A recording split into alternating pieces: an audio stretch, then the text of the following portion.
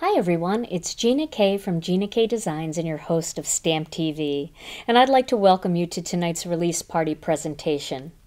Tonight I'm going to show you a whole bunch of brand new stamp sets and I'm going to show you a project featuring a couple of them. So let's get right into it.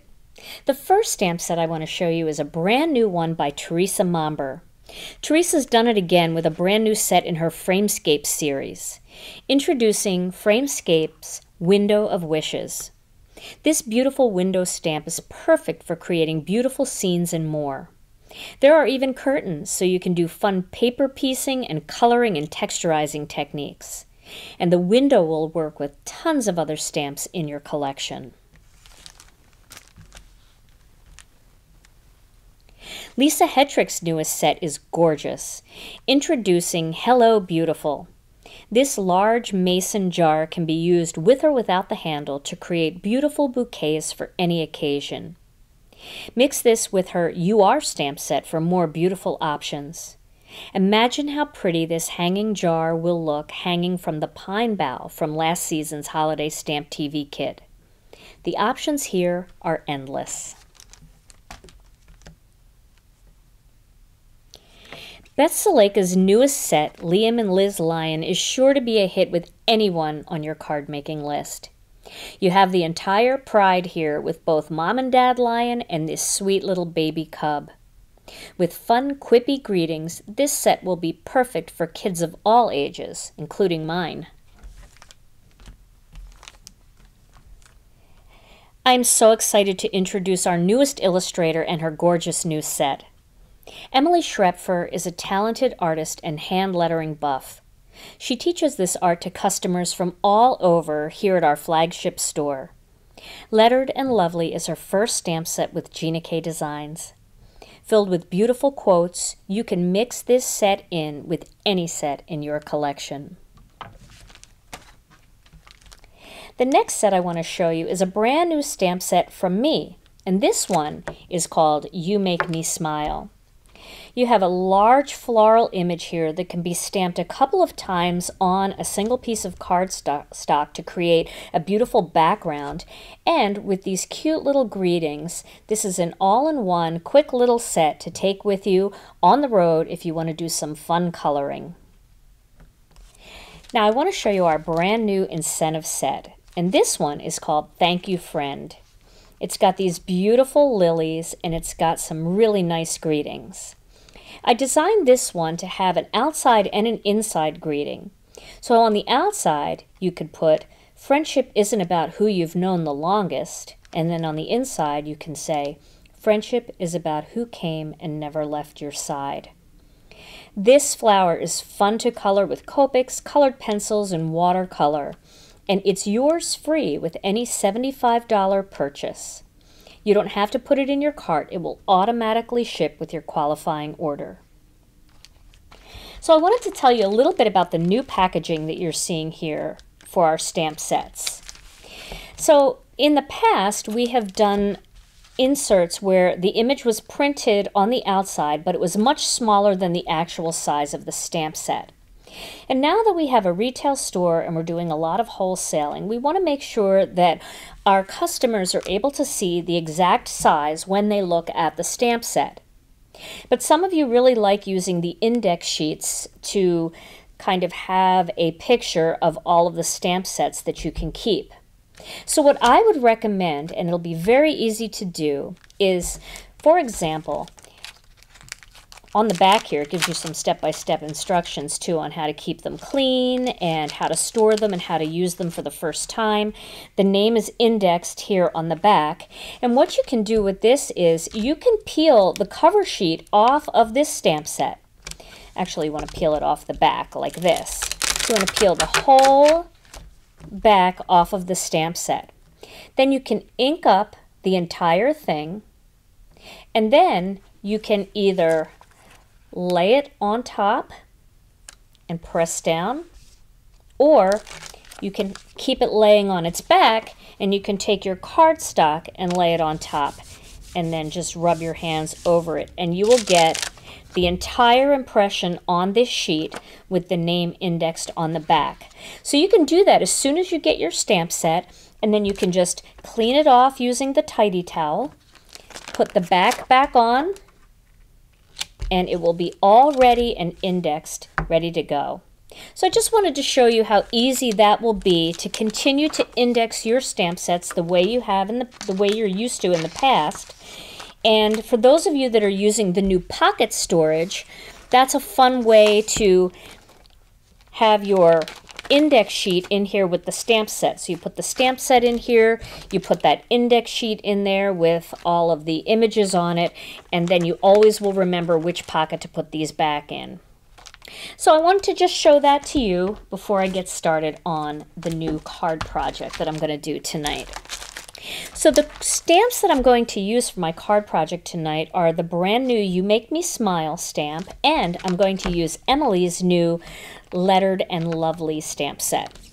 I'm also going to use my MISTI I'm going to use a little bit of water that I have here in a jar and some Zig markers. And the colors that I'm using are bright yellow, I'm using ochre, mid-green, English lavender, and deep violet. So this is going to be a bright purple flower.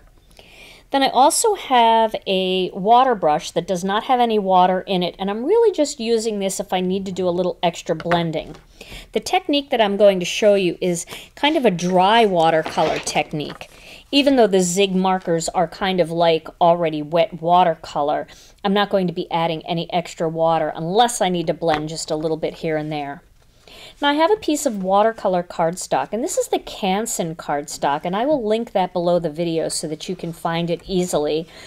I really like this cardstock. Um, it was recommended to me by one of my staff members, and I tried it, and I like how smooth it is. It is all cotton.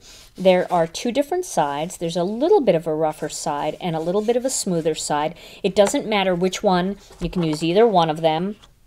But um, I think you're really going to like the way this feels. Now, if you don't have this, of course, you can use the Tim Holtz cardstock. That is a great watercolor cardstock as well. So I'm going to use an embossing magic pad and I'm going to rub that over the surface of this card just on the top here. And I'm going to start with the small, this flower image from this mini stamp set. Now I'm going to begin by laying this stamp down onto my card like that. So I want this to come in from this angle here. And I want to make sure that when I do that, that I have enough room left to add my greeting. And the way I look at my greeting, sometimes you can just either take the index sheet off or you can just hold that clear stamp set right up to the card and you can see exactly where that's going to be. And I think we have plenty of room there. I might just scooch it over a little bit. And I think that looks pretty good. Okay, so now I'm going to pick that up using my MISTI. And I'm going to ink this up using some of the Versamark ink. So we're going to do some watercolor, but we're going to do it over embossed images. And I really like to do that because I'm not a real talented watercolor artist, so the uh, the lines being raised from the embossing powder really help me to stay within the lines. Now I have my fine detail white embossing powder here in this container. So I'm going to emboss that part first. All right. And if there's any anywhere you don't want it, you can just brush it away. And I know that's a little difficult to see, but I'm going to heat this up. I always like to start my heat tool a little bit first just to make sure it's nice and hot. And that kind of helps with the warping. It doesn't warp as much because you're not heating it as long. And then I'm going to go ahead and heat that. And that's melting very quickly. Looking good. All right. And then once you've got that done, Now, for my next one, I'm going to throw this up here into the corner. I have a MISTI corner up here, and I'm going to just do that. Now, I'm going to figure out where I want this one to come in. Actually, let's see here. I might want to flip this around a little bit here. I might,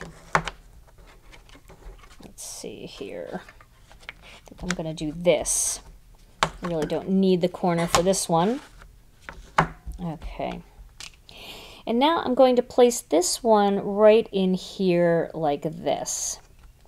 And you'll be able to see exactly where the other image is because it's all embossed and it's very shiny and you'll be able to see it. It's hard to see on the camera though. Okay, now I'm going to go back with that embossing magic pad and just tap over that again because there might have been a little bit of sticky Versamark on there and I don't want anything that might have shifted to catch some powder. So, all right, lay that down, give it a good rub, and I'm going to emboss the rest of that. Looking good. All right, let me move this out of the way. And again, this is all hot now, so I don't have to preheat it too much. It's still hot from before.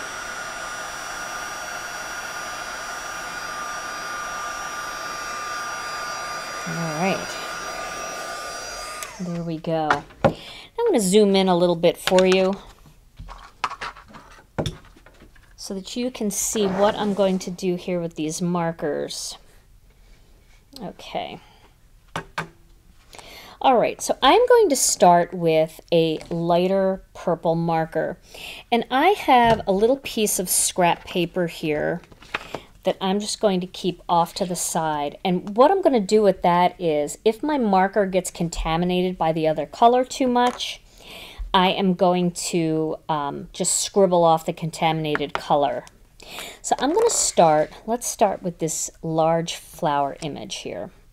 I'm going to start by adding a little bit of that dark purple down here near the bottom. Then using the lighter purple, I'm going to add that light purple all along here. And then I'm going to pick up some of that darker purple and blend it together.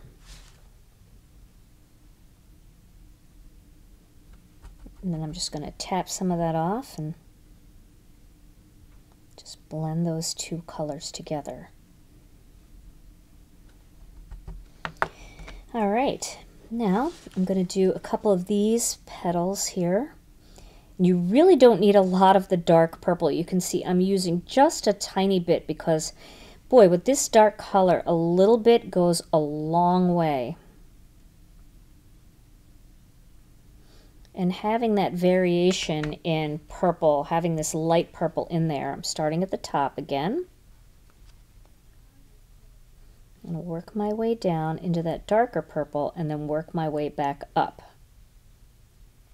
I'm going to clean off my brush, kind of go over the line there. And you can see how those two purples are blending really nicely together. You can make some of them brighter and some of them paler. That's kind of the fun of watercoloring, is to have all those different variations in there. But these zig markers are really fun to use. And I, I've, I really want to try some of the other um, markers that are on the market. I'm going to grab a paper towel here too because paper towel really helps if you have some um, areas that you just want to blot up. Maybe they're a little bit too dark. You can do that. If an area is really dark and you don't like how dark it is, you can grab your water, kind of run some water over it to lighten it up a little bit, and then blot that up. And that'll lighten the whole thing up, and then you can go back with whatever color you want to change it up a bit, like that. So I really want to try some of the professional watercolors that are out there, like the Daniel Smith and some of the other ones. I haven't tried any of those yet. Um, I've been meaning to, but I love the Zigs because they're they're so user friendly, and because I'm I'm not a pro, I feel like they're very forgiving. So if you are looking for a watercolor to try to just get your feet wet, I highly recommend the Zigs. And I also really like the Arteza markers, and they're, the price point on those is even a little bit lower. So you can see what's going on here, how that color is coming out. I really like that light purple too. I'll bring some of that darker purple up there, but I don't want it to go too far.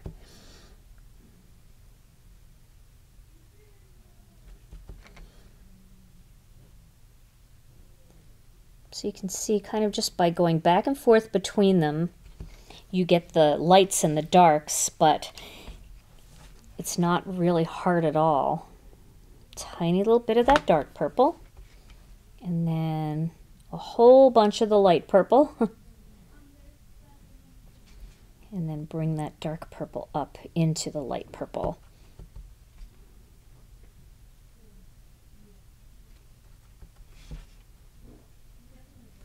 Okay. So I'm going to do, I'm going to finish this flower.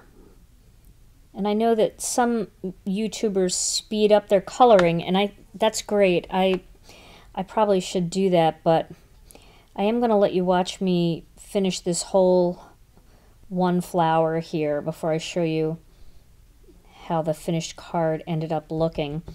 Just in case somebody wants to see it. If you don't want to see it, you can certainly zip ahead too to the end of the video. But sometimes it's nice to be able to kind of see how things go. You might see something cool in it and wonder how it looked or how it started. I'm going to go a little bit darker into these areas here because we're going to do some bright yellow in there.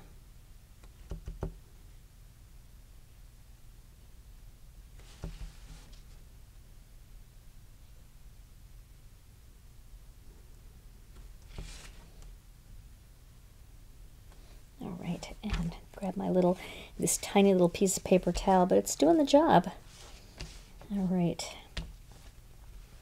So a couple more petals. This is a big flower. This is a very relaxing flower to color.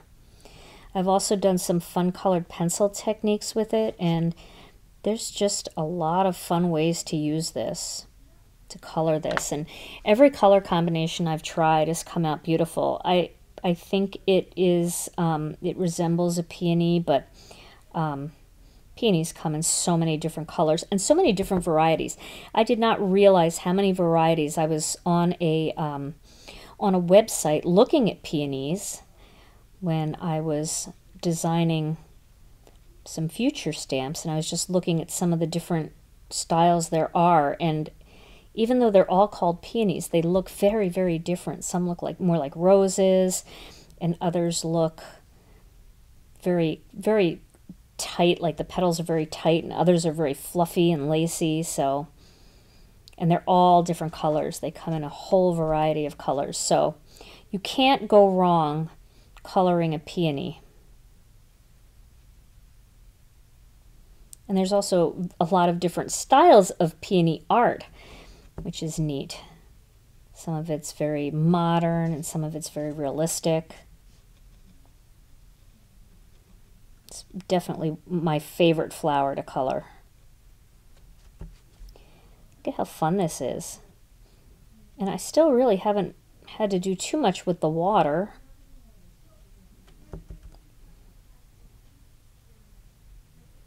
Make this one a little bit lighter. The contrast between the two is really fun. And then I see one more little petal down here and one over here. So I'll do those. Oh, and there's one here too. As you're looking at these in the, the bright light with the white embossing powder, sometimes the whole image doesn't really pop out at you until you really start to color and then you're like oh okay there's there's another petal. That's part of the petal that's not part of the leaf. And you kind of will start to um, see the whole thing come to life. Just blot that up a little bit add a little bit more there and this one okay Is there really another one right here? I think there is. There we go. It's so close to the edge, it's hard to see it. Okay, so now I'll show you that up close. You can see what that looks like. All different variations of purple. There's a little spot missing up there. Okay, so now for the, you're going to love the yellow part because that's super easy. I just took this um, bright yellow and I just rubbed it right over all of those little insides of the peony like that. And then if you want, you can take a little piece of paper towel and just blot that in case there's any laying on the embossing powder. Now for the greens, I started with the mid green, just coloring the leaves, totally solid as if I was just coloring with a marker. This one goes right off the edge there.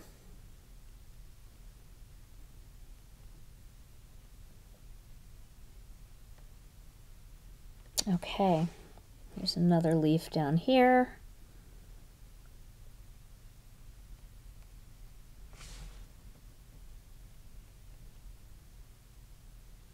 And then for the stems, I actually just ran the brush right along the stem and some of the little indentations pick up the color or you can kind of go right along the outside, which I can do over here too, just to accentuate that stem a little bit. And then I'm going to grab some of that ochre marker. I'm going to add a little bit of brown in there.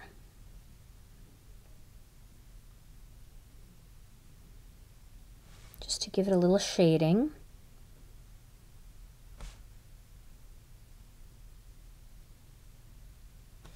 And then I'm going to go back over it again with the mid-green just to blend it out.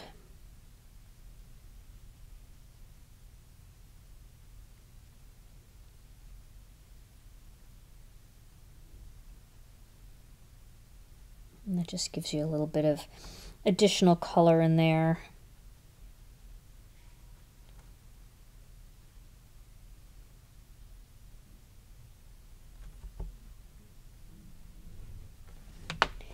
And you can see what that looks like. So these purples, they really glow. Now once you've colored all of these flowers in, then you can choose your greeting and stamp it right into that empty area using some black onyx ink. Now I want to show you my finished card project. Here is one that I colored completely. You can see all of the different colors of purple in there. And down at the bottom, I added Mother is another name for love. So this is going to be my Mother's Day card for my mom this year. I just love that saying, and I love how pretty those flowers turned out. Well, I hope you enjoyed tonight's release party presentation. All of the products that you've seen tonight are now available at GinaKDesigns.com, so you don't have to wait to place your order. If you're watching us over at Stamp TV, you can join in on our party chat thread and see beautiful projects by our design team. And you can also play along with the contest questions and our release party challenge. Thank you so much for watching tonight's video, and I'll see you soon back here on Stamp TV.